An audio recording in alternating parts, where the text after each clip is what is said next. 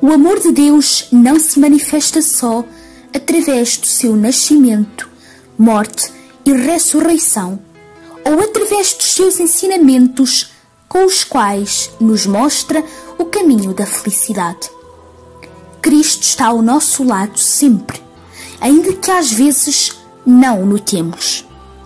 Muitas vezes, no entanto, experimentamos essa ajuda quando nos consola, quando nos fortalece, inclusive quando faz milagres para nos socorrer, a nós ou aos nossos. Se em certas ocasiões parece que a nossa oração não é escutada, em muitas outras ocasiões experimentamos a força do Senhor e as suas intervenções milagrosas na nossa vida. Propósito: agradecer a Jesus por todas as vezes em que nos ajudou, a nós e aos nossos.